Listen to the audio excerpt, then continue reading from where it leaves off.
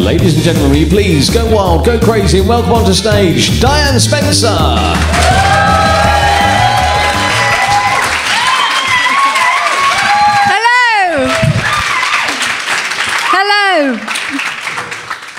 So much for coming to my show, Power Tool. I really appreciate it, and it's lovely to see you all here. It's great. Um, this show is actually a true story, and it's the true events of uh, my life last year, and uh, I just want to share it with you. And uh, yeah, that's it. Really, it's quite straightforward. Um, I've met the love of my life. Thanks. I'm pleased too. Uh, his name is Kevin, and uh, he loves me, and he loves me for all my flaws, and I have many flaws. One of them's a penthouse. um, and we're going to get married. I mean, he's not asked yet, but I'm planning.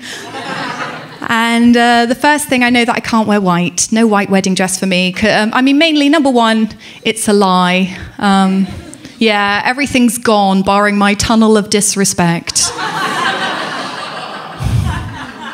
Um, and also, I can't wear an ivory dress because I am so pale, I have the power to turn any beautiful white dress into a horrible shade of jaundice yellow. Um, it's a very international look. I do pass for Scottish, Norwegian, and The Walking Dead. Um, but I've always been like this, even at school. So at school, like all the other children, as soon as summertime hit, they all just went bronze, and I just stood next to them like a steaming dinner plate. It's lovely. Uh, I mean, in water, I look worse. It's why I can't swim very well. It's very hard trying to learn when the lifeguard keeps pulling you out. um, so we were massively in love, and we decided to move in together. And we rented a flat in London, and the flat was very, very cold. Um, in fact, one winter when I hung up my laundry, it froze. Yeah, I am a 33 year old woman who has had to microwave her socks. Um, and I wrote to the landlord and I said, I'm sorry, but this flat is freezing. And she said, Yeah. And I said, Yeah. I was, could we have some heating, please? And she went, No, because I live in Dubai. I think radiators are frivolous. sure for you they were. Um, so it was very, very cold. Secondly, the flat had mice. Uh, and the mice would appear in one of two places. They would either appear on the kitchen counter or they would appear in the living room watching the television with me. I wouldn't mind, but mice are vermin and they do talk through the end of Columbo. And what I could never work out is how something, how a mouse that's like this big gets onto a counter this big. And then one day I was making toast and a mouse fell onto my shoulder. Yeah, I made a noise like you, like a bit of a scream and a vomit, like a yeah! And then the mouse just kind of base jumped down and he landed next to my toast. And I was like, good, they are parachuting in. I was like, I'm not gonna mess with a mouse that's in the special forces. Have the fucking toast. It's fine. Um, and then after six months, disaster struck because the boiler and I synchronized. Yeah, once a month we both broke down and retained fluid. I would be fine because uh, Kevin would rub my back and make me a hot water bottle and say nice things like, you know what helps with blood loss? Protein. Where are we going to find a shot of protein at this late hour? but the boiler would be harder to fix because we discovered sperm didn't work.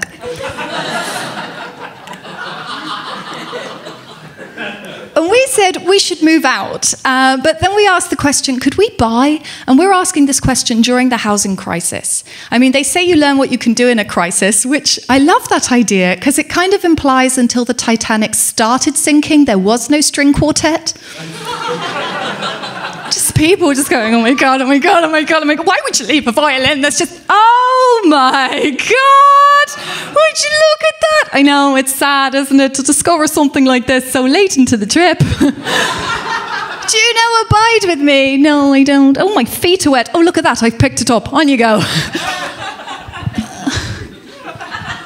I've learned what I'm like in a, in a disaster like crisis, mainly because I had a near death experience. Yeah. I was on a plane and we hit 26,000 feet and we had severe turbulence. Now, I don't like flying anyway. I'm quite scared. Whenever I get to the airport, I think I'm going to die and I just stand there rereading the word terminal. I always try to enjoy myself. I always have a lovely massage in security. You've nearly found the cocaine. Um, but we reached 26,000 feet, and it was like our, our, our, plane just became a shopping trolley just going down the hill. It just went, and everybody just threw everything. And suddenly, just coffee and cheesy rolls went everywhere. It looked like a food fight in a nunnery. But then people dropped books, they dropped pens, they dropped a Bible. It looked like an earthquake in a nunnery. I didn't mention the nuns. There were nuns everywhere. And so we're all kind of shaking, and then the pilot started gibbering in French, and he went, Mesdames et messieurs, je suis désolé, mais. Spot where my French ran out. And then he was like panicked. He didn't do the English. So I'm like this. And I, I like turned to the nun on my left and I'm like, excuse me, sister, do you know what the pilot said? And she went, I was like, oh my God, she's possessed. Thank you. And I turned to the nun on my right. I'm like, excuse me, sister, do you know what the pilot said? Your friend's possessed. And she went, and then the pilot went, and all the nuns crossed themselves. And I was like, that's not fair. Why am I going to die and I don't know what's going on? Why is the only French I know about a demi kilo of pomme de terre? And I thought, this is typical, isn't it? I'm going to be the only thing that plummets out of the sky and I'm going to go to hell. And because of an administrative error, I'm going to end up in French hell. I'm going to spend the rest of eternity going, le la le, ton ta te. I'm sorry, I still don't get it. I thought, this is typical, isn't it? I thought, they're going to be fine, aren't they? Because they're nuns, and we all know if the plane explodes that nuns stick to clouds. And that was suddenly when I came up with my plan and I realized who I am in a crisis. And my first part of my plan, I thought, I'm going to swallow my passport. Yeah. Yeah. Well, when the human body falls 26,000 feet and it lands, it just turns into goop. But everybody turns into goop. And I thought, well, this piece of goop's going to have its passport inside it. I just want to make one air crash investigator's day easier. And then, secondly, and you must never do this, I was going to rip off my seatbelt, I was going to climb over the nun to my right, and I was going to run down the aisle screaming, We're all going to die! Because some people were still asleep. And this is when I realized exactly who I am in a crisis. I'm the coward. so I've got news for you guys. Like, imagine we're in a film. Okay, so we're all in a film right now. This is our scenery, and suddenly, I don't know, the roof lifts off, and there's Godzilla. Good news one of you guys is the hero. well done. I, in a film, am what's known as a screaming featured extra. I die to add jeopardy to the situation. In fact, I usually make things worse. If I was on the Titanic, mm, I wouldn't have had the composure to pick up a violin. I'd have been at the back making a life jacket out of other people's skins because I've gone feral. But thankfully, this is the housing crisis. It's something totally different. And Kevin and I learned that we could be creative because we are creatives. So um, you see, Kevin and I are both comedians. So we're in the socio-economic bracket known as fucked. and we were creative with the forms you have to fill in. Because we discovered if you spell the word comedian more like you'd spell the word producer, the bank lets you borrow more money. Just for that one little spelling mistake. Um, and we really needed that spelling mistake because Kevin has two children from a previous marriage and they live right in the middle of London. So he wants to be a good dad. So we were looking for a house near the middle of London. So we went to an estate agent with our deposit. We told it to her and she went like this. and then we sat there explaining our dreams to her like two little chickens on a butcher's windowsill. And the estate agent went, right, I can help with this, I can help with this. Tell me about yourself, tell me about yourself. One thing, I'll get you the perfect house, one thing. And I went, Ooh, okay. I love cats. This is true. I love cats so much, I buy cat treats and I don't have one. You know the videos on Facebook and Twitter with the little kittens? I will retweet, I will tag you. I'm one of those people. I'm one of the cat pedos, the younger the better. I've discovered if you take a cat off the street and you stroke it and you love it and you take it home and you play with it and feed it, eventually the owner puts up a picture of that cat and their address and they write missing and you think, no, it's not. So you select the cat from your collection. and you go around their house and you say, Hi, here's your cat. And they give you money. It's now my supplementary income. So uh, the first house she took us to, there were cats everywhere. And you might think, Diane, she did it. What an amazing estate agent. What's her number? Oh no, oh no. Because number one, we had to push our way in through the smell. Oh, yeah, the cats had been doing their business in the carpet and they'd been living there for the last 20 years. Yeah, the estate agent described it as lived in. I described it as ammonia soaked piss hole. And as we're walking around and like the, the owner of the house is like hoofing cats out the way, we can see that they've all got one deficit. Like there was one, they're missing an eye. There was one missing a leg. There was one sat there out of his mind with an erection, like, like that. And as we walk along, we all stop because we all see one lone cat turd. Like just in the carpet. Like she's trying to sell this house. And the estate agent went, Visualize yourselves in this house. I thought, I can't visualize anything. My imagination's outside being sick. But we're still all looking at this turd. And then the woman who lives there, obviously, this was her moment to shine. She went, Oh, let me, let me, yep, sorry about that. She got a bottle of Febreze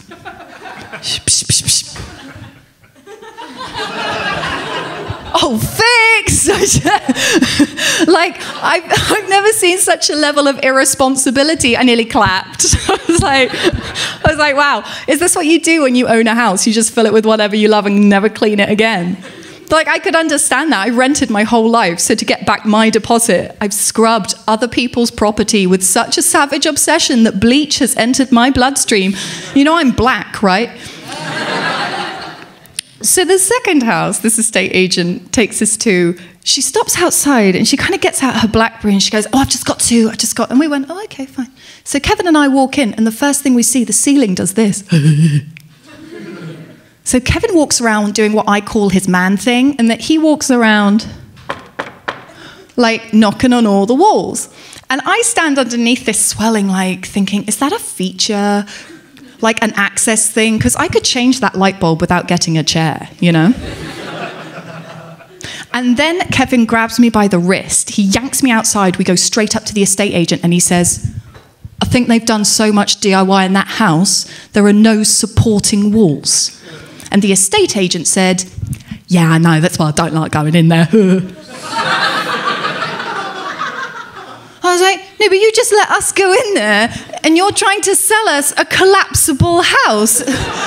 and she went, Yeah, but you've spotted it, so you're not going to buy it now, are you? So it's not a problem.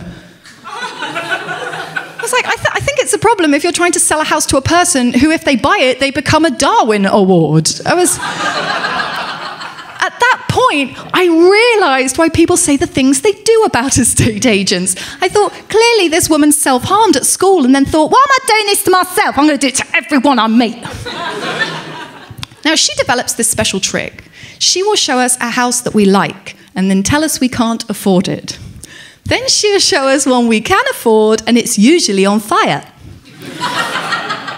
And we would turn up to those nice places, the ones where we wanted to live, and I would sit there in my car at night, playing very loud drum and bass music.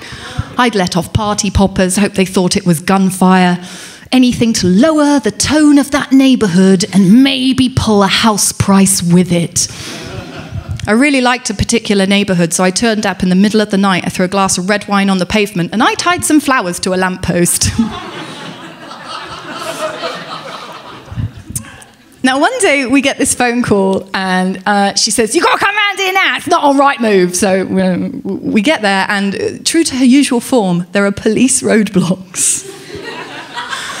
everywhere. But we pull up to this nice little two up, two down. Um, it, it's clearly owned by an elderly person. There's walnut furniture. It's got a nostalgic feel, pictures all the way up. We're supposed to be near a main road, can't hear it. There's no radiators, but that's how we live now. So we take that as a sign. Um, but then outside, like, I look at the price and I'm like, Ugh. And Kevin said, What's wrong? And I said, Look, why don't we just give up? Because I don't think we're going to do it. I think we should just blow the deposit on a holiday. And he said, Look, we could offer the asking price. And I said, Yeah, but if we offer the asking price, we can't afford to do anything to it. We literally move in like eating's not really an option. And he went, Yeah, but if we get it, we'll figure that out. And that's an example of two comedians forward planning. Because I have good news, guys. We did get the house. Thank you. Yes. Um, I'm still angry about like the housing crisis in general. Um, I, I don't think that owning a house should be all about how much money you have. I think it should be partially about who you are as a person. I think you should be able to go to an estate agent and give a deposit and do a dare. I just think you should be able to say, look, for that two up, two down, I'll give you five grand and I will pierce both my nipples. I just, would anybody in this room pierce both their nipples for a house? See, straight away, everybody's like, yeah, yeah. Would you wrestle a bear? Would you bite a dog? Yeah, see, less people say yes to that because dogs are quite cute. Like, I met one woman who would bungee jump into sewage. I mean, yeah, I think that's great, right? But I, am just saying, guys, I think we should make a television program. I think we should draw awareness to it, jackass style, and we'll call it How Far Would You Go to Get a House? And we all do painful stunts, and the tagline is putting the owl back into housing crisis.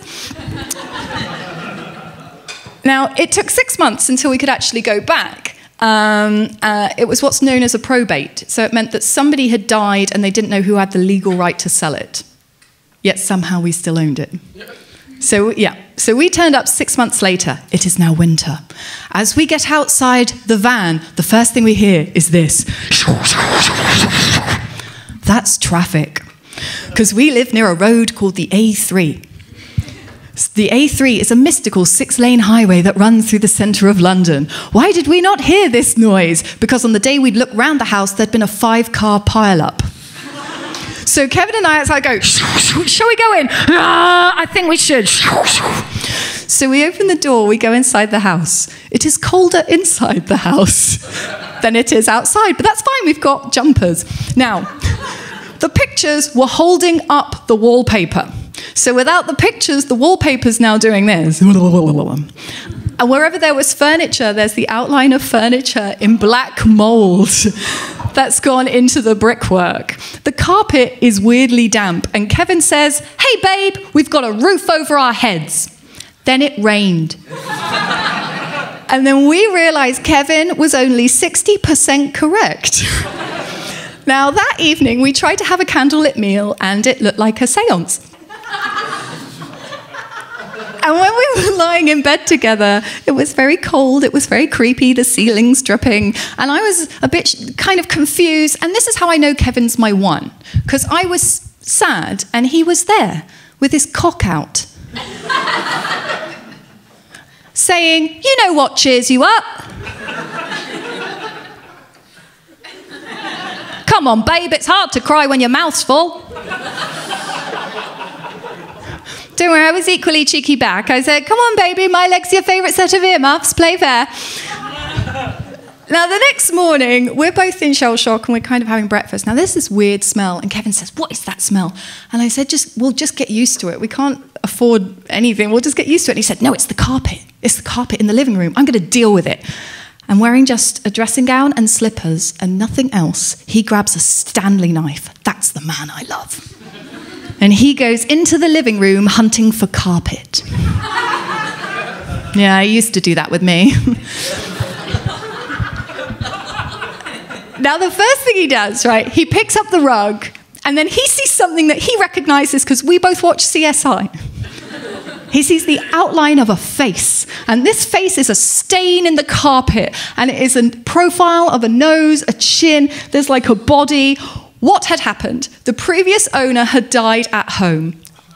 I think that's a nice way to go, initially speaking.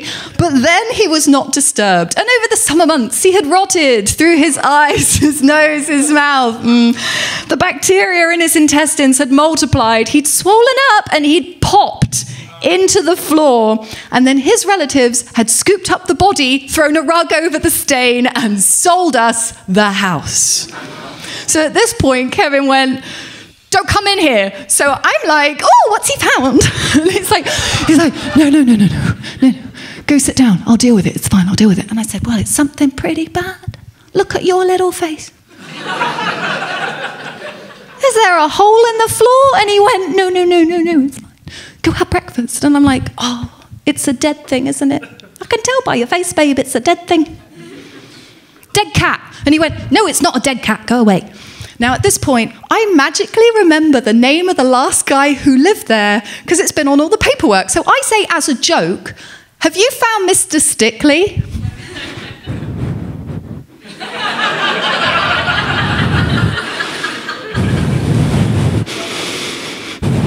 Went, ah!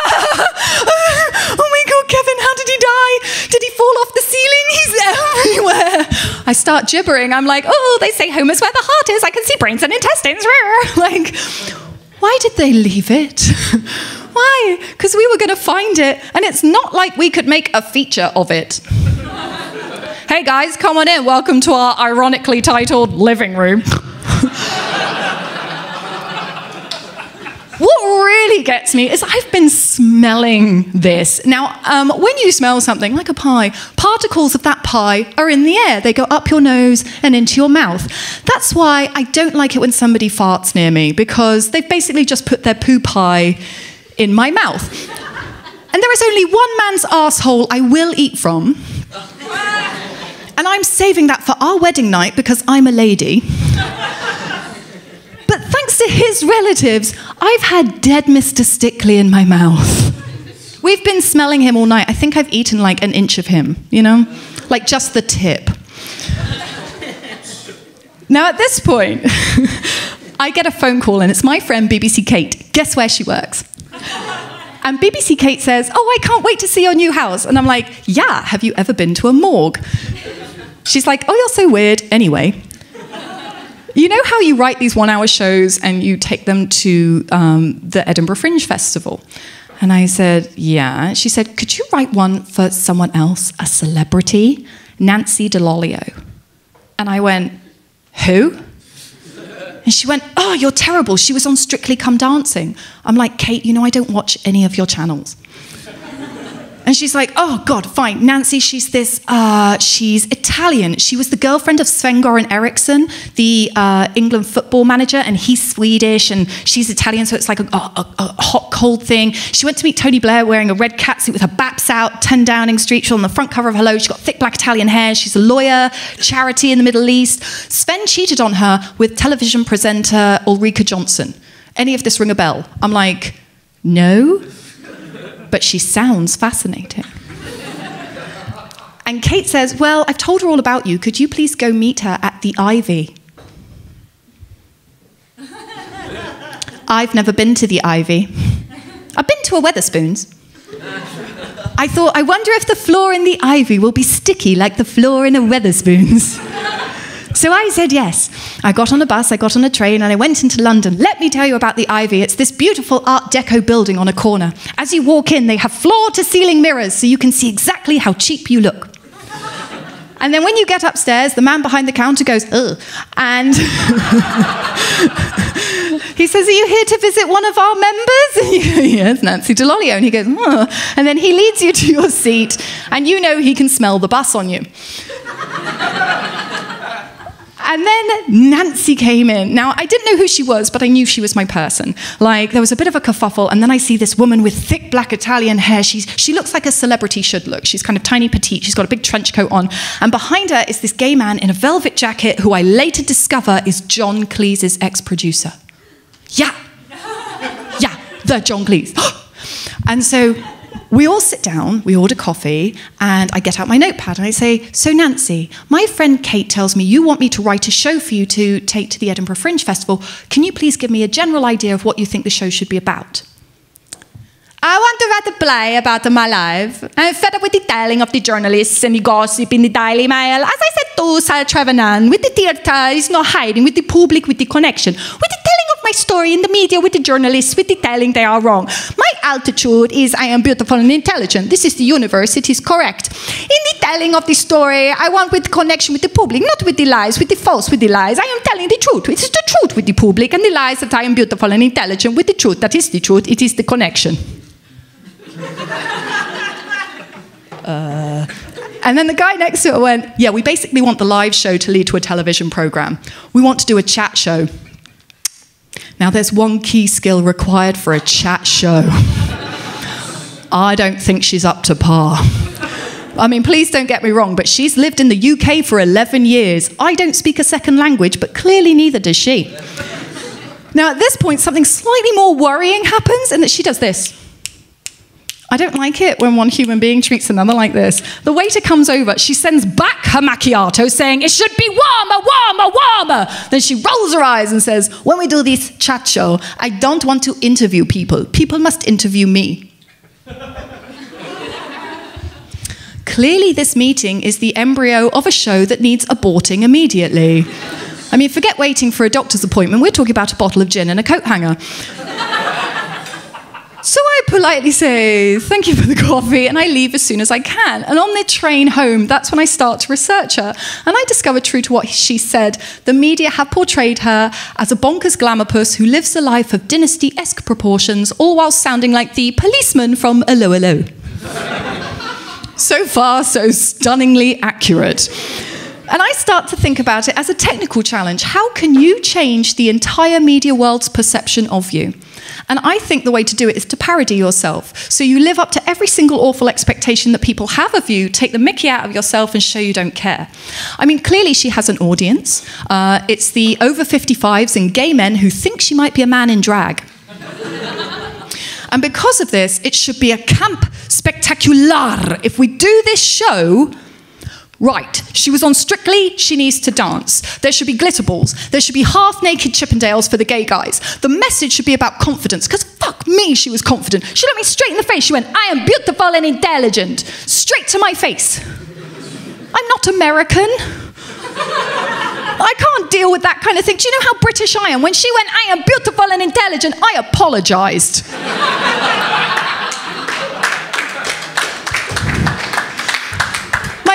She went, I look 33. She's 55. She's a pretty 55, but she's 55. And she went, I look 33. And the gay man next to her went, She does look 33. I was like, Please stop enabling her. So, so the message should be about confidence because if you had a shred of Nancy Dell'Olio's confidence, oh my God, you would do so much more with your life. You'd park horizontally. if anybody said anything, you'd be like, No, get out of the way. What? You know, it'd be great.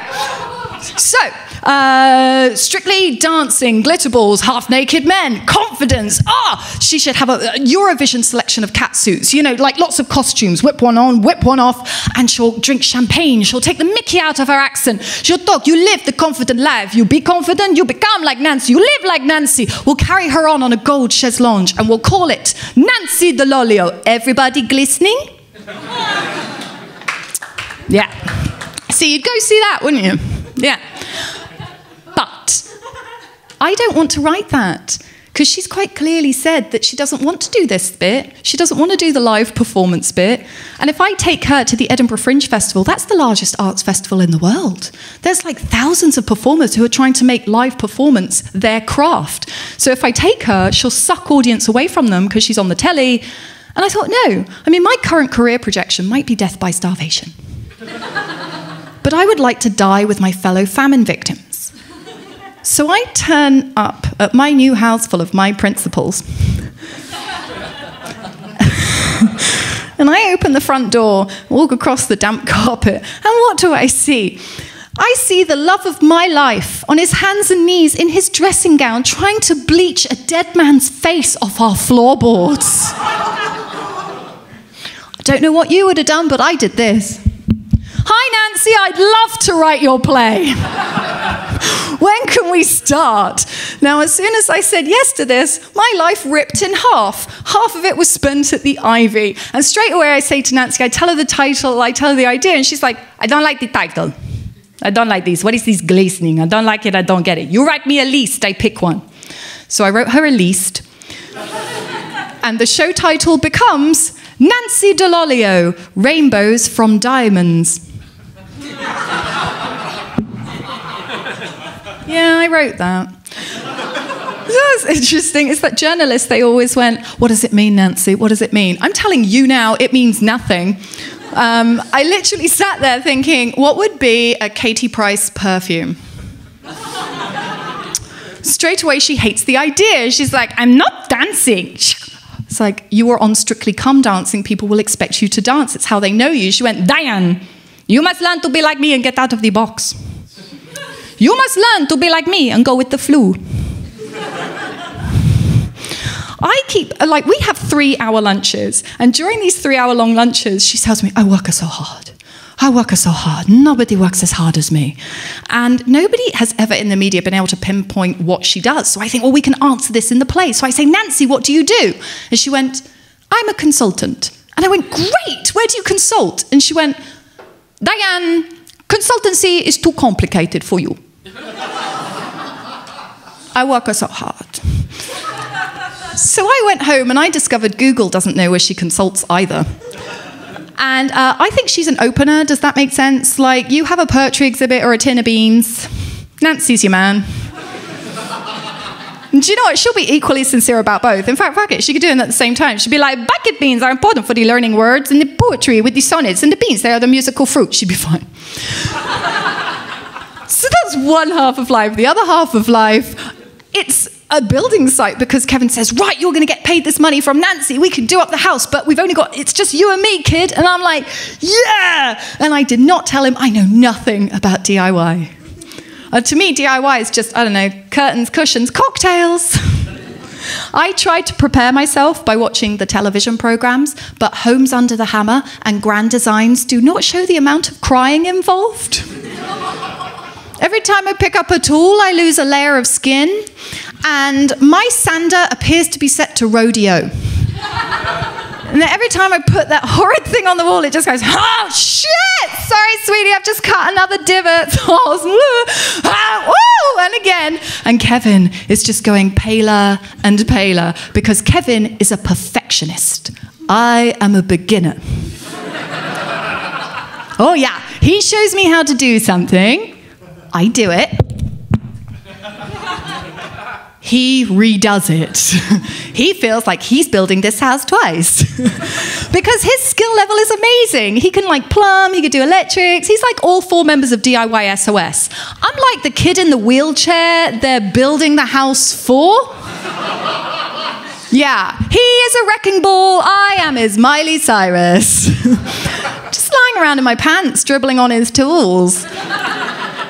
And the worst thing is, you can only like you can only be sexy for so long before they get pissed off that you're not helping. Like you can only be like, "Oh baby, hammer it in. Oh sweetie, drill it for me. Yeah. Oh no, I've dropped my screwdriver. However, will I sand this wall?" And he's like, "Why are you using a screwdriver to sand a wall?"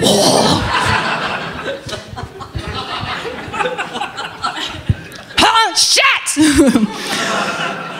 I want to make the house beautiful, but I am inept. I want to make this show I'm writing beautiful, but I have Nancy. And Nancy seems to start cutting everything I do. I'll run from the house into the Ivy looking like a tradesman who's come in the wrong door. and I'll slap down the script, and the first thing she'll do is pick up her red pen and go, Diane, there's too many jokes in this. I want to talk about the time I went to Gaza and I told the Israelis there should be a ceasefire. She said, Diane, why do you make fun of me? No! I was like, I was like Nancy, we, we need the jokes about you. But she seems to think self deprecation is a beauty treatment for poor people.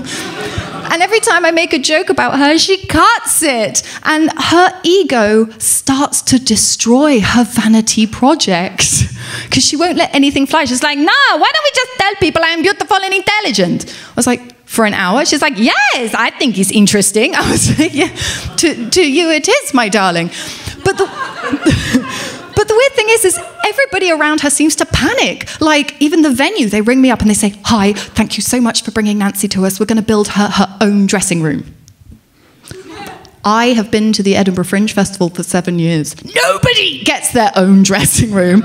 And then they say, What's her favourite champagne? We're going to stock up the bar. So I call her PA and he's like, Yes. And I'm like, What's her favourite champagne? He's like, Oh, I don't know. I will ask her. He's this lovely little Italian man who sounds Mexican. and I said, Why are you so calm all the time? And he went, Oh, it's perspective. I had cancer once.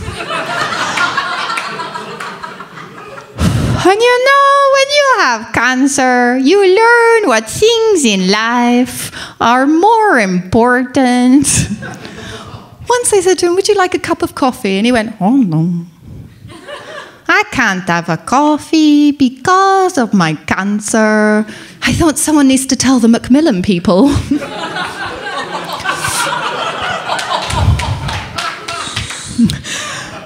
I give a completed script to Nancy, and what is her feedback? I say, What do you think? What do you think? And she went, Diane, I want t shirts.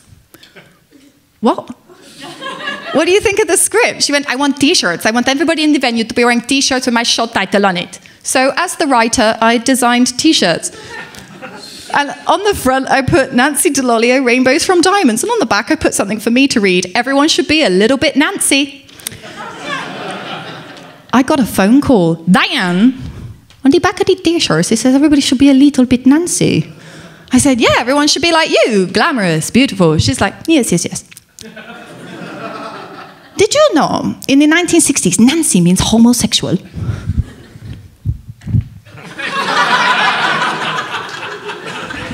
Nancy boy, you have to have the word boy after it because otherwise nobody gets it. Like, no one's going to make that jump. And she's like, You don't think he's confusing? I was like, No, Nancy, nothing's going to be confusing about this play.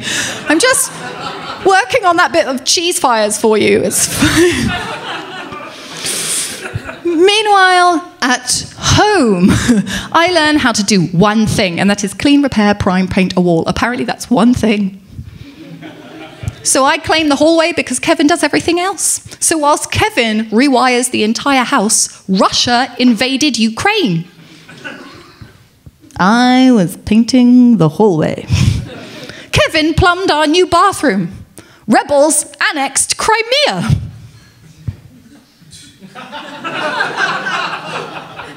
I was painting the hallway. Kevin decorated our bedroom entirely by himself there was a vote and they took down all the Ukrainian flags and they put up Russian ones. I finished the hallway, and like Russia, I stood there admiring my new territory, denied there had been any problems, and secretly hoped nobody noticed the corners I cut to get here. Hang Hanging. Can I tell you the one thing I hate about DIY. I hate the amount of squatting and the amount of dust. Like, that dust gets everywhere. Like, it gets in your pants, it gets in your shoes. Like, it's like a day at the beach, right? And with all the squatting, like, when a lady squats, she doesn't know if she is open. Does that make sense? One does not know if one is open uh, or, you know, your purse strings are tight or they are loose and some change can roll out. Nobody knows. And I'm just scared if my purse strings are loose, when I do this, I create some sort of suction. Because I just don't want to be taking it in both ends. Do you know what I mean? Like at this point, I'm really glad I'm neglecting myself. Like it was growing thick at this point. Like it was coming out like twigs, and I had like some weird little bird's nest. And we had stopped having sex. Like our nicknames for each other used to be Jizzy and Sweaty. I'm going to let you work out which is which. Uh, but now our nicknames for each other are Mr. Shouty and Miss Clumsy. and I'm really glad I'm growing like a mesh over here because I'm hoping it's working as some kind of dust sieve. because I'm scared that if he ever puts his dick in there again, which good luck to the man because he'll just get a splinter. I'm scared when he puts it it's going to feel like he's fucked a sandcastle. One day, too far? One day, I get home and I don't talk to Kevin straight away, which is unusual. And I kind of stagger upstairs and he finds me just sat in a heap. But I've got like lots of shopping bags and stuff around. And he went, Are you all right? And I went, Diane, I want five costumes. And he said, Yes, but I thought you wanted five costumes. That's great. And I said, Yes, it is great, but five costumes in an hour, that's four costume changes. And I said, Nancy, that's fantastic. As long as the changes are 30 seconds each, we'll do great stuff with Velcro. She went, 30 seconds? No, what about my jewelry? They will be five minutes. okay, well, what would you like happening on stage for five minutes? Well, nothing, I will be changing. No, sorry. The audience will still be sat there. They've come to see you. You must entertain them. What would you like to do for them for five minutes? And she went, Can't you play some music or something? So I came up with an idea. It's amazing what insomnia does. I've come up with an idea, Kev.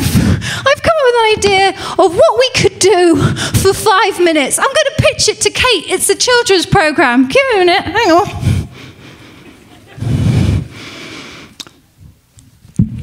Oh, yeah.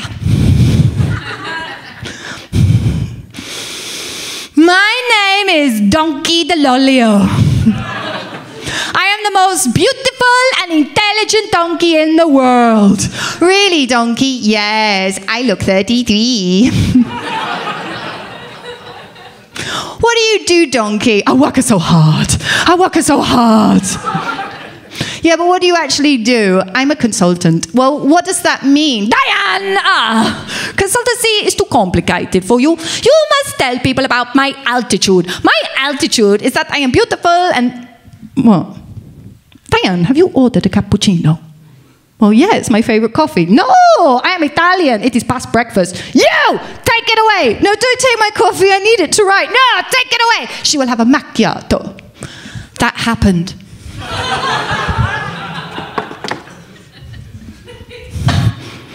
I'll be honest with you, Nina Conti's got nothing to worry about.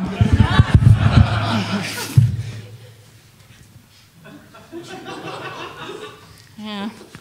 On your little sleeve. Kids, it's Swine Goran Eriksson! Hello, everybody! Swine! Swine, what are you doing here? This is my show for the people. Well, I'm sorry to interrupt the donkey. I just came by to say hi to all the boys and the girls. I was wondering, Donkey, could you please move out of my flat? What? My flat in Belgravia, Donkey. She's been living in it for 80 years now, and we broke up ages ago. Ever since you broke up with me, your life has been rubbish. Well, actually, Donkey, I'm doing pretty well. I still coach the football. Did you know this? I coach the team in Shanghai in China. They pay me 15 million a year. What do you do, donkey? I'm a consultant. What does that mean, donkey? Shut up. Okay. well,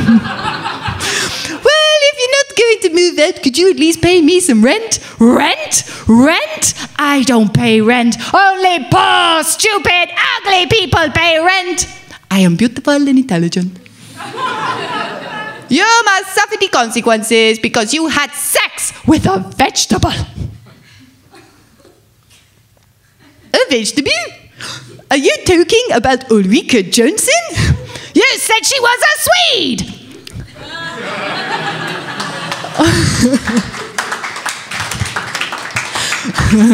so I do this for Kev. And Kev's like, Are you all right?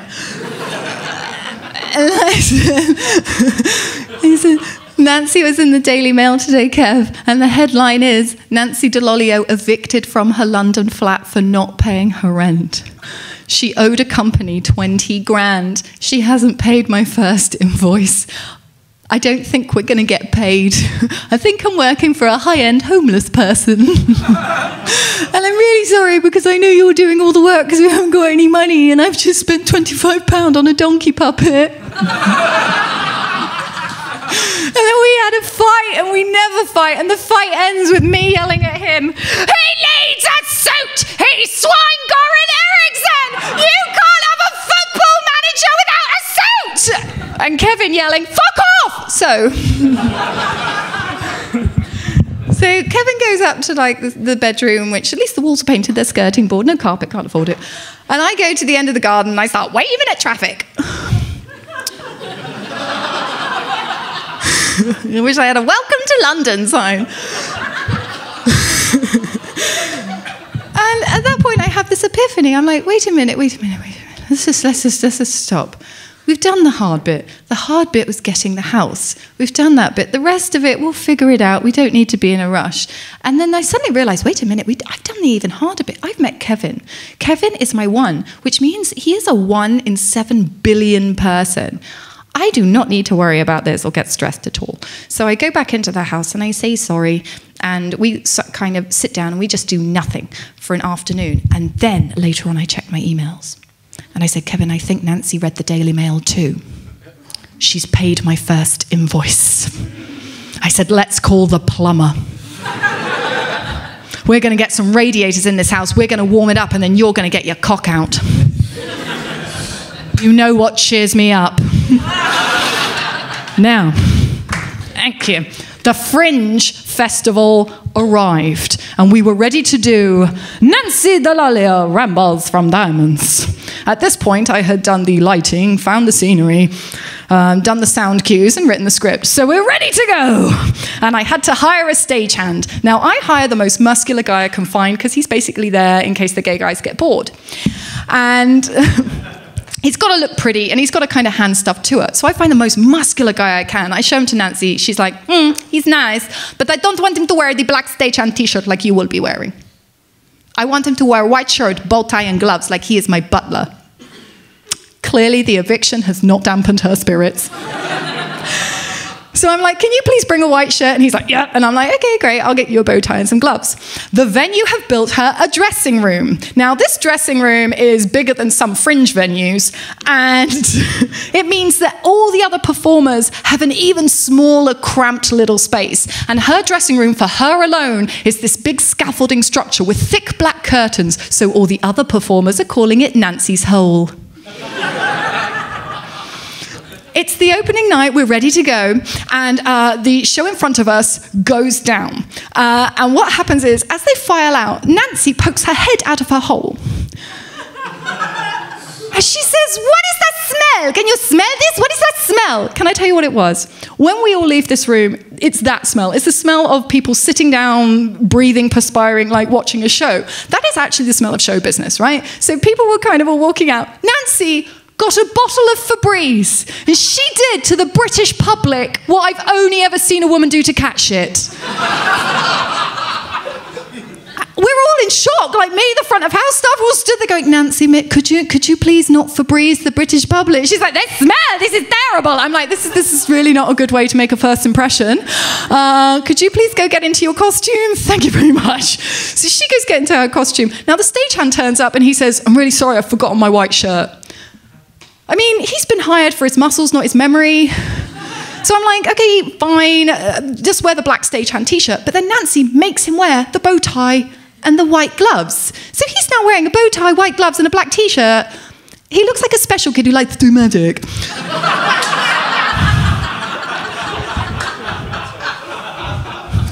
We pick up the chaise lounge, gold chaise lounge, we take it on stage, we set up the entire stage. Her audience come in, they sit down. I say, Is Nancy ready? No, I will go. Yes, you go do that. Thank you, that would be great. Is Nancy ready? No, she needs her earrings. I was like, okay, great. Now we go one minute over. Okay, I can deal with that. One minute late, that's fine. That's fine. Two minutes over. Okay, not, not, not great. Three minutes. Three minutes. The audience had just sat there. Nothing's happening. The show was supposed to start three minutes ago. It's fine. Five minutes. My temperature shoots up. I start to feel a bit sick. This is not very professional. We go up 15 minutes late. But her earrings are now fine. So, the way that the show started, a male Italian voice did a voiceover and it went like this Signore signores, buonasera. La performance di Nancy Dell'Olio, Rainbows from Diamonds, sarà in lingua inglese. Scusate se vi aspetto mente. Then Nancy read off stage. Good evening, ladies and gentlemen. Tonight's performance of Nancy Dell'Olio, Rainbows from Diamonds, will be in English. Well, I'm going to try my best. and they laughed. And that was the first joke. And I stood at the side of the stage looking at the audience. And as I saw them all laugh, I was like, oh my God, it's going to work. Oh my God, I've written a play. I've written a play. Yeah. And she went, Welcome on stage, me, Nancy Dell'Olio. The tech guy hit click. Diamonds are forever. Shirley Bassey's voice fills the room, and Nancy walks on, and the audience, which is a sea of OAPs and gay men, they all just go mad. She's real, she's real. The clapping dies down. Then this happened. So, we are at the fringe. You are staring. You are sitting. I am talking. You are sitting. I am at the fringe. I am talking. I'm doing my show. I'm telling my story. The story of the journalist with the telling and the sitting and the talking. Ah, About my altitude. I am conscious with the staring and the sitting. She's not learned a word. She's not learned a single word of the script. I am sitting, you are talking, my altitude, I'm conscious. She sounds like a dictionary falling down the stairs. And the more she talks, the more her English is breaking down. She's supposed to say, I love being in Scotland. Did you know I like whiskey? What does she say? I love being in the Scottish. I am licking my whiskers. the tech guy's up in the booth just thumbing through the script, going, I don't know what cue this is. I don't know what I'm supposed to be doing. She thinks he's following her every move. So she kind of walks around saying, Perhaps at the time it was, of course, in the thinking. You! Something is supposed to happen with the sound and the lights! You are supposed to change the lights when I say this! So she yells that at him. Now you can yell into one of these. She's wearing a radio mic. So when she yells, the entire room feeds back and it just goes, oh, like that. And you can see the entire audience, like the old people with their hearing aids, just clicking into a safer frequency. Now, at this point, I haven't got a clue what's going on. I'm just watching this car crash unfold. So I think, fuck it. So I, I just send the stagehand on because I think maybe if he takes her a prop, it'll jog her memory. So I give him a bottle of champagne. I say, hold it by the bottom and just offer it to her. So he walks on stage, medic. and instead of just offering it to her, he does this. Like it's his cock just standing there like that. And it's everybody in the room just tenses. And Nancy, instead of making a joke and relieving the tension, she does this. Uh, don't do that. then followed? I can't tell you what followed because it was just 40 minutes of gibberish. But I need to tell these were some of my favorite lines. Uh, sometimes, like, she hit a line I'd written, but most of the time it was just Nancy being Nancy. And um, here's some of my favorites. In traveling around the world, I have been to all the planets. My favorite country is United Kingdom. I am a big fan of Queens. I've been to Gaza. They should have more cheese fires. Arab and Israeli children should learn to play harps. Yeah, they should, Nance. Yeah. And you know what? Retrospectively, I should have hired a drag queen. Uh, a drag queen would have learnt her words, would have turned up on time. We could have done a tribute act. We could have done Tranny Dell'Olio, catsuits and camel toes. After 40 minutes of just, I don't know what it was, well, we have to just stop. And so I whispered to the stagehand, just tell her to stop. I'm sorry, we've run out of time. So he whispers in her ear. She explodes. She goes, No, they want me to stop talking to you, but you're not seeing my costumes. I show you my costumes. So she walks behind this little screen we've set up on stage. The tech guy recognizes this, so he hits click. The lights fade to purple, music begins. This is the first time the audience have been out of her eye line. As one, they did this. Oh my God. Do you know what's going on? I haven't got a clue. I can't, fuck, fuck knows. I don't know. They start making little groups. They start talking to people they've never met before. I heard some little old lady say, Well, I think because she's been to Gaza, she's got shell shock. One minute and 30 seconds happens. Na, na, na, na, na. The lights come up and we all look at the screen. We're all looking at the screen. She's going to come out any minute. We're looking at the screen. She's not coming out. There's just a lit stage with nothing, nothing. Just I look at the tech guy. He's like this. I'm like, what do we do? He's like, I don't know. Is she coming out? I said, I don't know she's. The screen's like wobbling. Nobody knows what's going on. So I just make a call. I just go. He hits click. The lights fade to purple. The same piece of music starts. Everybody starts talking again. It's very avant-garde, isn't it? One minute and 30 seconds happens. Na, na, na, na, na. The lights come up. Everyone looks at the screen. We wait. But then at this point, we all hear through the screen, shit, shit, shit. And I'm like, he hits click. The lights fade to purple. The same piece of music starts. I walk across the stage wearing my black stagehand t shirt, and what do I see behind the screen? I see Nancy Dell'Olio in her pants with her tits out, stabbing her foot into a cat suit that's clearly the wrong way round.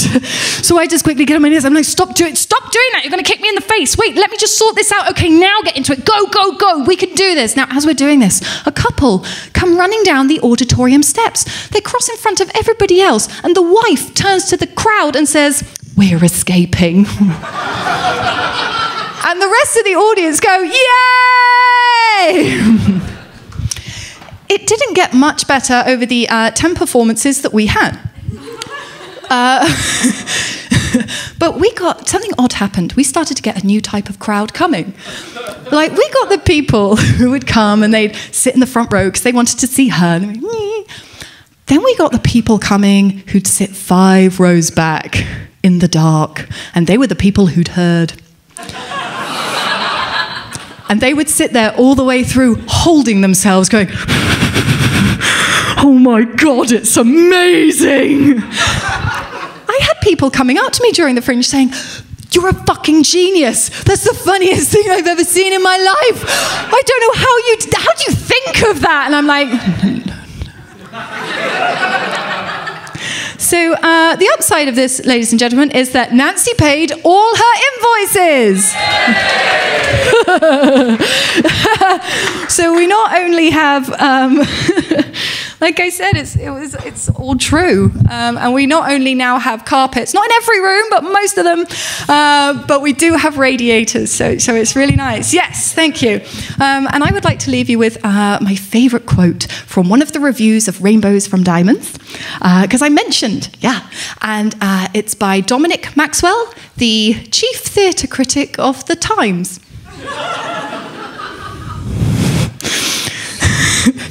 and it's Rainbows from Diamonds, one star.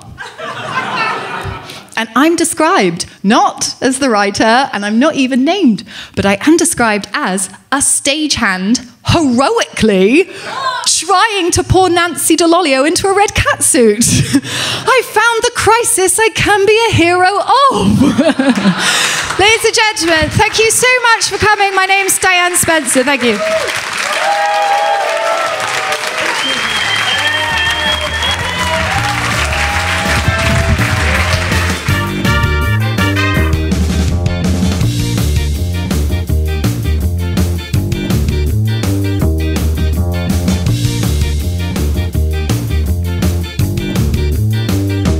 Basically planned the whole timing of our trip from Germany to London so we could see the show. Yeah, it was deadly. Really enjoyed it. Absolutely, uh, it was hilarious. Fantastic. Cute. I lo- love Diane. She's brilliant. Good. And how far have you come from?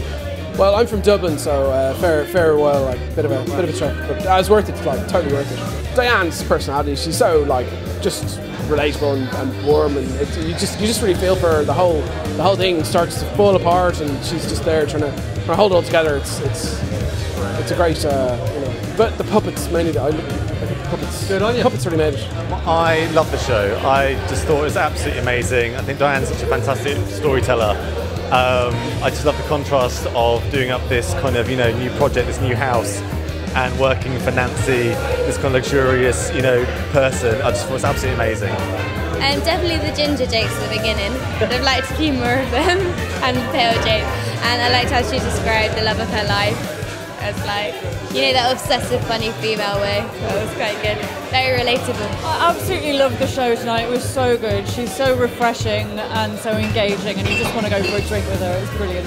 Well, like I said, the honesty and to hear someone speaking about how it was. I mean, I was up in Edinburgh the same year that, that Nancy's show was there. To, to hear it from the background and to hear what went into that show was really it added another spin on, on what was an entertaining experience for perhaps the wrong reasons but seeing what went into the creation of it was really lovely and so engaging. And also about the DIY because I'm from the Di Spencer School of DIY and I try but I could I could completely engage with everything she was saying about that so it was just great. I am actually BBC Kate. So first of all, I must apologise for everything that's happened since that fateful phone call, but I particularly enjoyed the uh, reenactions of those Ivy meetings. I wish I could have been there. Yes, Absolutely. It was awesome. I Yeah. loved it. It made me laugh a lot. so I'm still laughing now. Like that. Fine.